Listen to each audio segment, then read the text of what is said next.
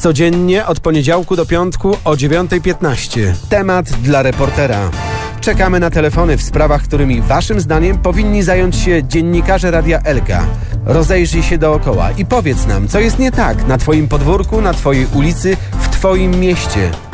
Widzisz problem? Zadzwoń 65 529 55 29. Codziennie od poniedziałku do piątku o 9.15. Temat dla reportera. 9.15, teraz na zegarze, a do studia kilka chwil temu dotarł gospodarz programu Jarek Adamek. Ale no ja nie wiem, co to są za dźwięki, takie niedźwiedzie z pana strony. Dzień dobry. Dzień dobry, bo bym właśnie sobie gawrę wygrzebał i Mhm. się w niej y, Zakopał. zakopał. Wczoraj był Dzień Niedźwiedzia, to tak trochę się... A nikt mi nie powiedział. No, się spóźniłeś Widzisz. trochę. Ale w sumie dzisiaj też można poświętować, no. W śniegu można się wytarzać jeszcze przez takie parę minut, bo potem stopnieje. Tak, ostatnia chwila, żeby zrobić bałwanka. Ja zrobiłam, nie widziałeś? Nie. No, To musisz wyjrzeć z tej po- strony przez okienko. On zupełnie jak coś innego wygląda. 65 529 5529. Czekamy na Państwa telefony. Oczywiście w sprawach śniegowych oczywiście też można dzwonić. Pozdrawiamy wszystkich y, pracowników jeżdżących na pługach, piaskarkach, solarkach. Jesteście dzisiaj bardzo mile widziani na ulicach naszego regionu. Widziałeś? Nie, ale ja krótki kawałek miałem, także Rolety podnieść może, bo... ale rzeczywiście no, dosypało i jest ślisko, więc jeżeli gdzieś tam planujecie jechać, to y, no tak jak mówię, pewnie jeszcze przez parę godzin możecie mieć problemy z em, przejechaniem. Więc przypominam podstawowe zasady. No, zimówek już nie założycie, jak nie macie, ale mm, na przykład, żeby silnikiem hamować. O, umiesz? Mm, Czekaj, czekaj, bo się tu prawie udusiłam. Umiesz? E, nie, Nie umiesz hamować silnikiem? nie, w sensie jak? Wy, wyciąga się silnik i się nim hamuje. A, rozumiem. Mhm. Y, 65 529 5529. Wczoraj mieliśmy duży ruch. Zobaczymy, jak będzie dzisiaj. Ja może sprawdzę, czy telefon działa, bo na Sprawdź. razie jakaś taka cisza. No nie, sygnał No jest. jest. dobry, czyli można dzwonić. No jest, może mają Państwo zajęte ręce za, Odśnieżaniem. za O, tak, odśnieżaniem, bo jeszcze też przypominam o chodniczkach. Jeżeli jesteście tam gdzieś pose, posesjonatami i macie y, to szczęście posiadać nieruchomość, zwłaszcza w centrum, to trzeba chodniczek też odgarnąć, żeby się nikomu krzywda nie stała, bo przypominam, że zgodnie z prawem chodniczek w sytuacji odśnieżania zimowego należy do Was. A w sytuacji na przykład spożywania należy do miasta. E, 65 529 5529 i co? I co u ciebie, Patrycjo? No bo co? No, No i musisz, to jest- to jest- musisz trochę Ja- poopowiadać. Ja muszę... Zdrać nam trochę sekretów ze swojego życia. Właśnie chciałam powiedzieć, Jareczku, że u ciebie zdecydowanie ciekawsze rzeczy się dzieją. To opowiadaj. Naprawdę u mnie nuda po To prostu. jest, Nuda, nie ma, nie ma, nuda. nie ma współpracy tutaj na antenie, widzę. Nie Ale ma. wiesz co, na całe szczęście ktoś do ciebie dzwoni. Psychologia. Nie, Dzień nie dobry. mnie. Dzień dobry, dzień dobry. Ja tutaj dzwonię odnośnie śniegu. Chciałbym powiedzieć, że bardzo dobrze, że spadł śnieg. Przynajmniej dzieci wiedzą w ferie, że jest śnieg. Dziękuję bardzo. Tak, Pozdrawiam całą redakcję. dziękuję bardzo, słuszna uwaga, tylko rodzice szybko obudźcie te dzieci, O, tak, tak. To żeby może, zdążyły go zobaczyć. to może być tak, że jak się obudzą koło dziesiątej, to już będzie po ptakach, Tak, a właściwie po śniegu. To już chyba jakiś deszcz tam powoli się zaczyna, więc Mhm. y, to po pierwsze, że będzie ślisko, a po drugie właśnie, a weźcie smarkacza, weźcie go w piżamie, wrzućcie go w zaspę. Nie ma jeszcze, ale żeby zobaczył na własne oczy, że to są ferie zimowe. Y, 65 529 5529 i co jeszcze? Musisz opowiedzieć na przykład o tym, e, co wczoraj ciekawego gotowałeś. To może być interesujące. Kulinaria zawsze No. są, rozumiesz, w cenie to są zawsze tematy, które jakby budzą ciekawość Nie. e, i podsycają emocje. Wczoraj z tego powodu, że była sesja Rady Miejskiej, to taki oj, mam, To nie z gotowałeś? moim kolegą mamy taki rytuał, bo to dzisiaj modne słowo, rytuał, że idziemy sobie na miasto i było na mieście zjedzone. Dobrze. O, Dobrze o, było zjedzone. o. Ale to tak raz na miesiąc sobie na takie kaprysy pozwalam. Jak jest sesja, bo jak nie ma sesji, to nie. Chciałam coś powiedzieć, ale ugryzłam się w język. 65 529 5529. No tak, teraz jak jest śnieg, to dziur nie widać. No, jak to mówią, asfalt nie topnieje. Natomiast, y, no cóż, dzisiaj jest piątek, przypominam Państwu. Będzie weekend. Nie będziemy się słyszeć przez dwa dni, więc jak macie coś tam w zapasie zostawione, to zapraszam bardzo serdecznie. Wczoraj znowu było tak, że jak kończyliśmy audycję, to się y, telefon gotował. Może ktoś coś zostawił na dzisiaj. Dzień dobry. Dzień dobry. Witamy. Y, Dzień dobry, niech mi pan powie, bo ja w takiej sprawie dla, re, dla reportera czy coś temat. Tak, coś takiego. Niech mi, niech mi pan powie, bo ja takie mam pytanie odnośnie ograniczenia prędkości do 40 na godzinę w Boszkowie. Zawsze ten znak był na sezon zimowy ściągany. W tym roku, w tym roku informowałem dwa razy, pytałem się dwa razy w rejonie y, dróg. Za pierwszym razem mi powiedzieli, że znak będzie ściągnięty, za drugim razem, że nie będzie ściągnięty. Kierownik zdecydował. Na jakiej No. podstawie oni decydują, że ten znak pozostaje, skoro to jest letnisko? No na jakiej zasadzie ja bym go... Ba- ja, ja, przy, ja- przy no, przepisach każdy 10 minut się liczy na, o, gdzieś pan wyjechał poza zasięg yy, z telefonii. No ja się zawsze zastanawiam, dlaczego taki znak jest zdejmowany, a nie dlaczego jest zakładany. A, okej. No cisza się No. jednak zrobiła, chyba że uda się panu tam wyjechać z tej dziury. No. Poczekamy Ale- jeszcze... O, nie- o, No mówię, że pan to gdzieś zginął nam. I co, przeszkadza panu to 40, rozumiem, tak? No, wie pan, w, obecnych, w obecnym czasie każde 40 na godzinę, no to jest jakaś tam pu- pula punktów karnych, No, punktów karnych yy, mandatu, nie? no. No, to, e, no, teraz nikogo nie ma w tym sezonie. Poza sezonem tam i zawsze było to ściągnięte, w obecną chwilę nie jest ściągnięte. No, Nie wiem, czy to jest odnośnie tego hotelu, co był, bo oni chcieli mieć pasy na swój parking. Powiat postawił pasy, ładnie wszystko. no. A I- tutaj, a tutaj on o zwykłych kierowców, o zwykłych kierowców, kurde, no to, że tak powiem, mają gdzieś, nie? Bo y, jechać powiedzmy teraz 50, a jechać 60 to jest jakaś różnica, tym bardziej jak się tą trasą przyjeżdża, można powiedzieć, że 4-5 razy dziennie, nie? Aha. E, No. Okej. Dobra, dziękuję panu bardzo. Zdradzę państwu taki niesamowity y, sekret, jak uniknąć punktów. Wystarczy jechać 40. No, szok. Tak to działa. jesteś mistrzem. I Mamy- masz kolejny telefon. Mamy telefon. Dzień dobry. No dzień dobry panie redaktorze. Witamy. E, Ja mam taką sprawę. Jakiś czas temu dzwoniłem tam do pana odnośnie, bo to dzwonię Przebełkowa, e, odnośnie tych, to było gdzieś półtora roku temu, tych rozkładów jazdy, pan wszystko załatwił, jest wszystko okej. Ale ja bym jeszcze miał taką, bo tu mieszkańcy i, i młodzież e, po prostu no, napierają. Jest autobus, który jedzie na przykład od strony Krotoszyna, od Dłoni, tak? No. No. I ten autobus y, zatrzymuje się na tym przystanku tu, tu koło głównej drogi. I była, czy by była taka możliwość, bo są dwa przystanki i kilometry są te same, żeby ten autobus jechał przez wioskę. Bo wie pan o co chodzi? Te dzieci z tamtego końca, młodzież, chodzi aż tu. I to jest, moim zdaniem, to dla tego przewoźnika nie byłoby żadnych problemów, tylko żeby, bo to jest firma Mila na pewno, bardzo miła firma, naprawdę y, i być może jest to do zrobienia. Mm.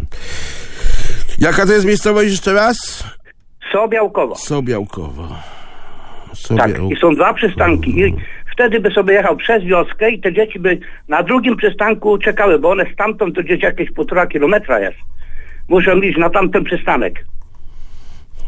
Okej, to jest pewnie jakaś umowa z gminą na ten temat, więc sprawdzimy w gminie, czy na przykład gmina może w tej sprawie interweniować, żeby autobus jechał No, przez ja wioskę. Tu, ja, ja, ja tu słucham młodzieży i po prostu ja wiem, bo ja mojego wnuka wożę tu na autobus Mhm. i widzę to jest, nie? Oni po prostu idą z jednego końca na drugi. A ten autobus mógłby pojechać na jeden przystanek i na drugi, tak? Okej, dobra, dziękuję bardzo, pozdrawiam serdecznie sobie Łukowo Również i dziękuję. okolice. Do widzenia. To jest y, ziemia rawicka, zdaje się, chyba. Y, 65 529 5529, mamy kolejny telefon, dzień dobry. Halo? Halo, dzień dobry panie Jarko. Dzień dobry panu. Chciałbym pozdrowić swojego syna Filipa i życzyć mu udanego wypoczynku, bo właśnie mnie słucha i to są pierwsze ferie ze śniegiem. I, I pierwsze twoje poza domem, tak? Nie, w domu, ale, ale ze śniegiem. Aha, czyli pan chce pozdrowić syna, który jest y, pokój obok. Pozdrawiamy w takim No razie. nie, no ja jestem troszkę dalej, Ach, ale... pan jest dalej, dobrze. Pozdrawiamy syna Filipa. Idź Filip y, sobie na śnieg, y, machnij sobie orzełka. Jeszcze zdążysz. Jak szybko się pozbierasz. A, bo tu chodziło chyba o to, że w ogóle w życiu... Pan jest w trasie. Syna pierwszy śnieg. Tak, pierwszy śnieg, no to taki mały orzełek będzie. Ale orzełek jak najbardziej wskazany. Robiłaś kiedyś? Oczywiście, że No tak. ba. Zwyczajowo, z- wiesz, jak śnieg jest, to jest i orzełek. Ale byłaś przodem do śniegu czy tyłem do śniegu? A, to już wiesz, to już nie wnikajmy. Masz telefon. Dzień dobry. Dzień dobry Państwu. Ja mam takie pytanie, bo mamy pogodę za oknem taką, jaką mamy i Państwo mówiliście, że właściciel jest zobowiązany odśnieżać chodnik, który nie jest jego chodnikiem, Tak. ja to rozumiem, ale prosiłbym o wyjaśnienie następującej sytuacji, kiedy właściciel posesji jest osobą niepełnosprawną, nie mogącą tego uczynić, nie mającą pomocy z nikogo strony i jeżeli zgłosi problem do magistratu, czy magistrat w tej sytuacji mu pomoże i za niego będzie odśnieżał ten chodnik? O, dobre, ciekawe pytanie. Ponieważ no, są takie sytuacje i są osoby niepełnosprawne, samotne, które same mieszkają, korzystają z pomocy MOPR-u i pani opiekunka środowiskowa, która będzie do niego przychodzić, no nie będzie tego Jasne. robiła, prawda? Bardzo dobre pytanie. Y, Jeżeli ktoś z Państwa zna odpowiedź, bo na przykład Mhm, spotkał się z taką sytuacją osobiście, y, to fajnie jakby tutaj poradzić naszemu słuchaczowi y, i na to pytanie odpowiedzieć. I mamy kolejny telefon. Dzień dobry. Halo? Halo? Halo? Dzień dobry, słuchamy. No dzień dobry. Ja dzwonię w takiej sprawie, tu jest y, z Gronowa do cmentarza dojazd. No jest tak trudny tam odcinek między tą drogą asfaltową a cmentarzem, że no, no nie ma jak tam dojechać, nie? W sensie dziury, czy I dobrze by było, żeby miasto się tym zajęło. w sensie, że są dziury, czy że jest gruntówka? O. Jak tam... i- Pytam, czy tam są dziury, czy tam jest droga gruntowa, jak to wygląda? No, ja bardzo słabo pana słyszę. No dobra, nie dogadamy się. Dobrze, droga dojazd, dojazd do cmentarza na Dobrze by było, żeby zainterweniować. Tu kiedyś było tak, że tu autobus jeździł, pod cmentarzem był przystanek autobusowy, Mhm. a w tej chwili no nie ma szans, żeby tu w ogóle jakiś ciężki samochód dojechał, a w ogóle osobowe samochody dwa nie mogą się po prostu wywinąć na tej drodze. Dobrze, Jak jest pogrzeb albo coś, to jest problem, żeby tu dojechać. dobrze. Dziękuję. dziękuję bardzo. Pi- pierwszy raz rzeczywiście zgłoszony ten temat z Gronowa, mm, ale okej. Poprosimy o, nie wiem, jakieś na razie utwardzenie, bo inwestycji żadnej nie słyszałem, żeby tam miała być. Dzień dobry, Dzień dobry, pan Dominik. Witamy. proszę pana. Ja kiedyś jak byłem nowy,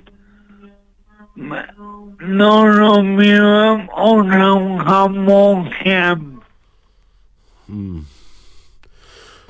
Pana Dominika bardzo serdecznie pozdrawiamy. Yy, To jest nasz wierny słuchacz. No, bardzo lubię, kiedy mm, sobie możemy porozmawiać, ale dzisiaj było trudniej. Yy, Mamy kolejny telefon. Dzień dobry. Proszę ściszyć radio. Dobry, witam serdecznie. Dzień dobry panu. Ja w sumie w takich dwóch sprawach. Pierwsza to w odniesieniu do telefonu pana Boszkowa. Tak z zazdrością słuchałem jego wypowiedzi na temat tego zmniejszenia ograniczenia prędkości o 10 km na godzinę, bo odcinek drogi, o którym pan wspominał tam koło tych nowych hoteli, nawet wydaje mi się, że jadąc te 10 km na godzinę 10 razy dziennie, to zaoszczędzi może minutę z życia. Także bardzo zazdroszczę problemów. To tak mówię zazdroszczą sobie Mhm. słuchałem tego. A druga sprawa troszkę bardziej istotna mi się wydaje e, odnośnie warunków pogodowych, które mamy na drodze. Jechałem rydzyńską szosą. Aha. Miałem, powiem tak, rydzyńska szosa w tym momencie jest bielusieńka, błoto pośniegowe e, jest rozjechane, rozrzucone. Ciężko utrzymać tak naprawdę przy 70 na godzinę e, samochód, żeby on jechał prosto, żeby trakcja się nie załączała. No i jechała z naprzeciwka pługo solarka, niestety tylko w opcji solarka. I zastanawiam mnie, dlaczego to błoto nie zostaje zdjęte z tej drogi, bo ta droga jest bielusieńka, a pług jedzie z podniesionym, z podniesioną szufą. Ale soliła czy nie? Soli, soliła. Soliła, Soli- aha. soliła, No, tylko, tylko zastanawiam mnie właśnie, dlaczego nie odgarniała tego, co leży, powiem szczerze, no, no i Mhm, bardzo utrudnia zdecydowanie, wydaje mi się, warstwa tego błota pośniegowego bardziej utrudnia prowadzenie samochodu niż przyczepność tego samochodu do jezdni w tych warunkach, które, które aktualnie są. Bo ślisko może być, jak jest ślisko, ale jest gładko i twardo, to tak można jechać stabilnie. Natomiast na błocie pośniegowym tworzy się poduszka Tak, między oponą a, a, a, a jezdnią i ten samochód po prostu płynie, więc no nie wiem, no to jakieś troszkę mówię No, nie, niezrozumiałe dlatego, dlatego, pyta, no, dlatego pana pytałem, czy soliła, ponieważ, y, no, jak wiemy, różne drogi należą do różnych właścicieli. Yy, Rodzyńska szosa, szosa, szosa to jest 309, czyli droga wojewódzka, więc y, odśnieżają ją służby y, wojewódzkie.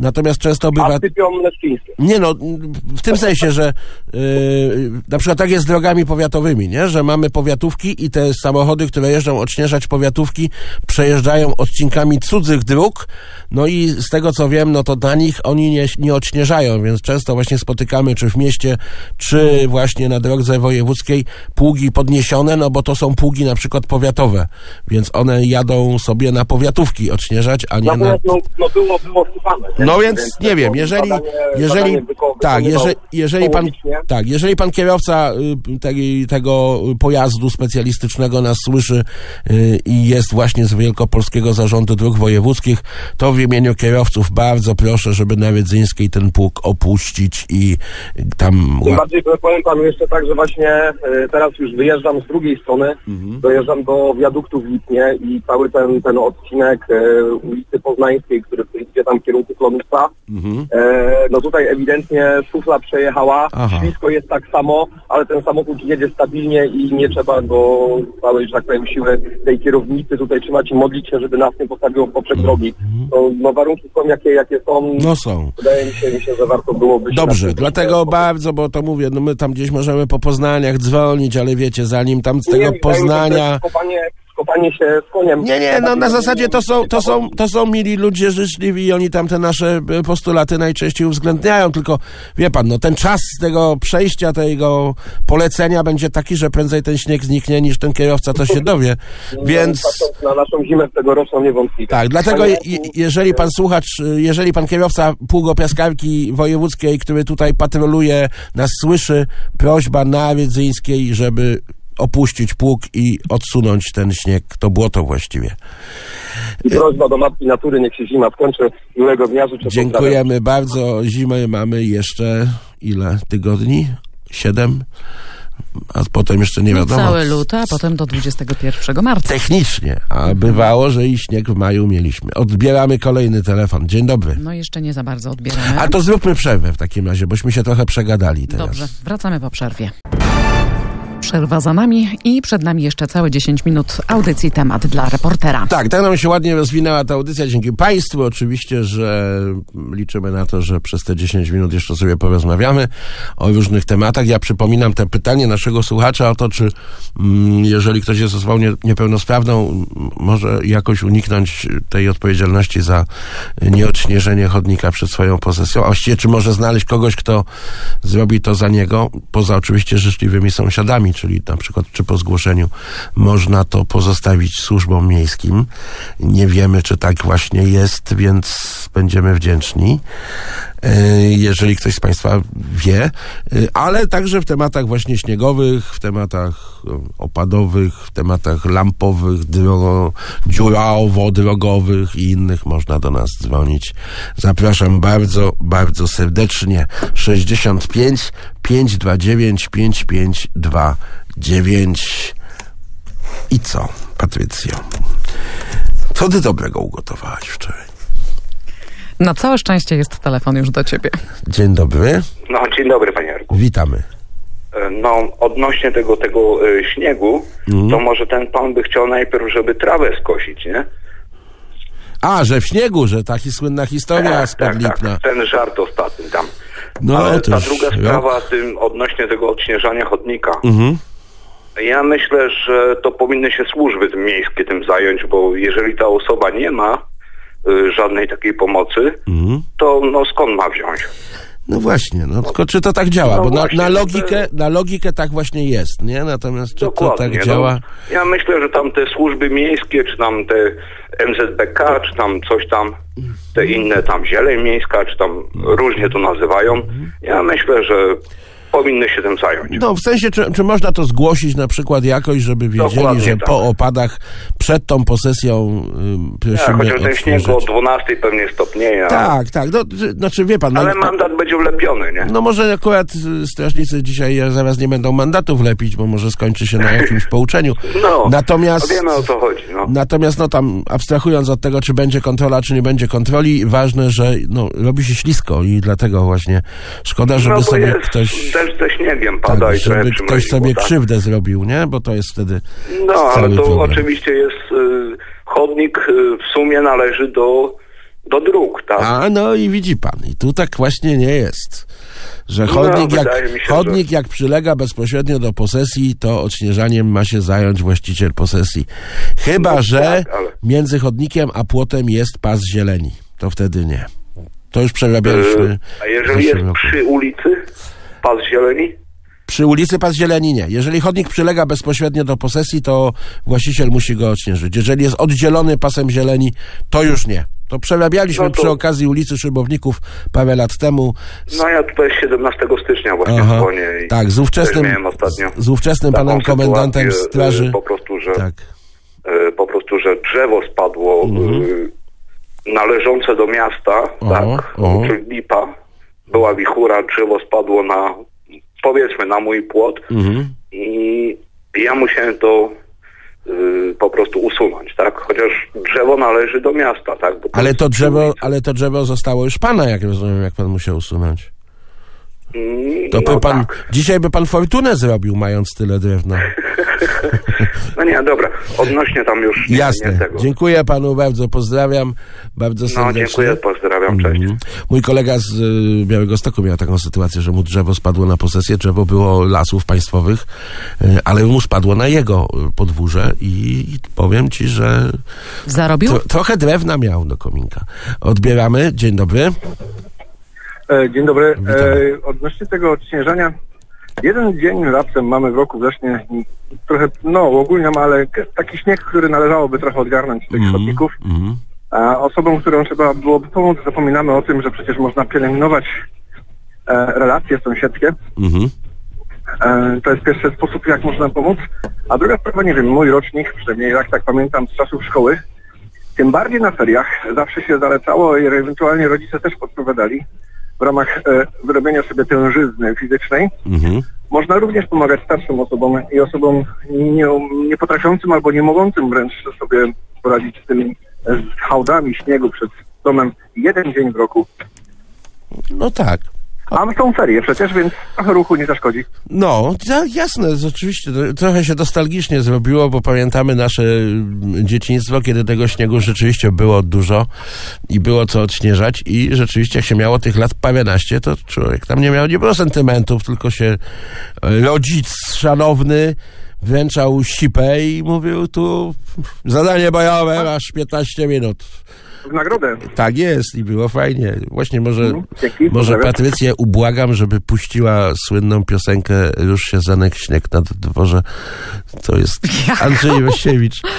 Zobacz, czy masz. Nie, chyba nie mam. Na, zobacz, czy masz. Halo, redaktorze muzyczny. Yy, odbieramy telefon. Dzień dobry. Halo? Ale dzień dobry panie Jarku. Dzień dobry panu. Tu nawiązując do tego poprzednika, od tego chodników, odśnieżanie, czy coś takiego z tym drzewem, tam słyszałem w radiu właśnie. Mhm.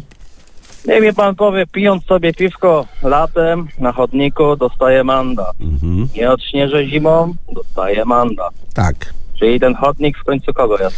No, to jest właśnie takie praktyczne zastosowanie słynnej teorii względności Einsteina. Właśnie to, jakby państwo nie wiedzieli, jak wytłumaczyć y, komuś, na czym Bo ja polega. nie wiem, ja jestem troszkę może i wyuczony, ale w tej No tak. sytuacji jestem głupkowaty. Dokładnie tak, na to też zwracałem uwagę, że to jest właśnie ten paradoks chodnika słynny. Filozofowie, jak będą opracowywać filozofię XX i XXI wieku, na pewno to zagadnienie, tam parę, parę doktoratów będzie zrobione na nim. Dziękujemy bardzo, pozdrawiam pana słuchacza.